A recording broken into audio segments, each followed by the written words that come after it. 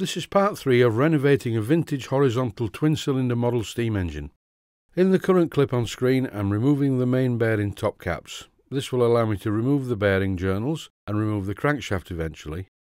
One thing that becomes immediately evident is that the cylinder cover bolts are entirely different to the bolts that hold the main bearing caps in place.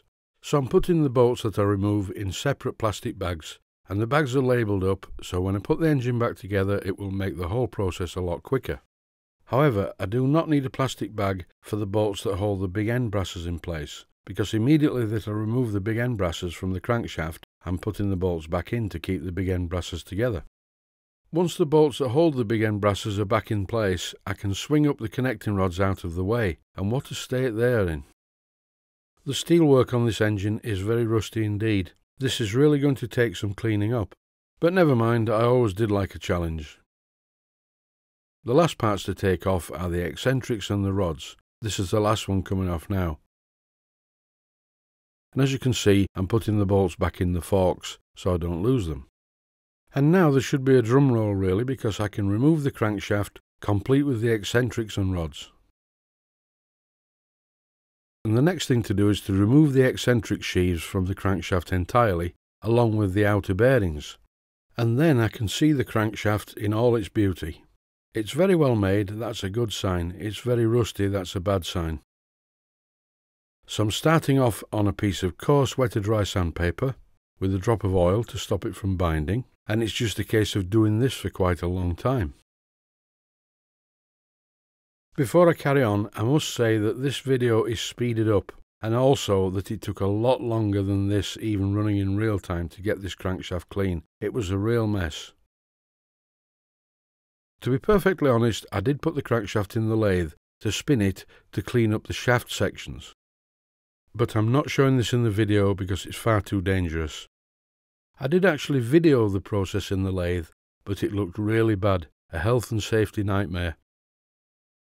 My old workbenches in the workshop are woodworking benches, and they have rectangular holes in the wood along the front, which are normally perfect for dropping nuts and bolts through onto the floor, but they're also useful for doing this.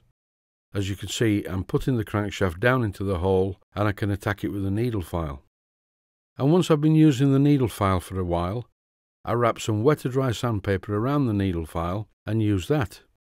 And then finally, as we get towards it looking a bit better, I'm using some T-cut on some 800 grade sandpaper, and this is to clean up the main crank webs.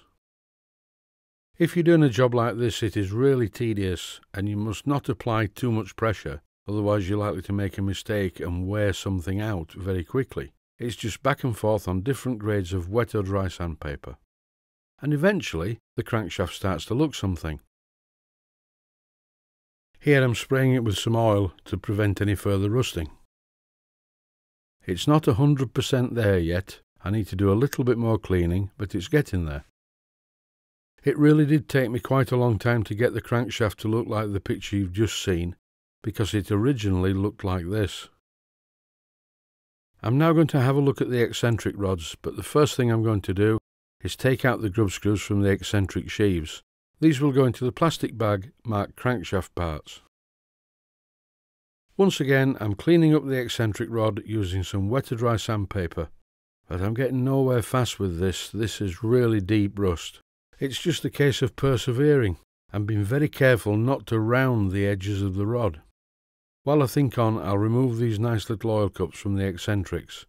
I wouldn't like them to get lost and I'll put them in the same bag as the crankshaft parts. And now it's back to my least favourite job, cleaning up very rusty steam engine parts. Thanks for watching and I hope you found it useful.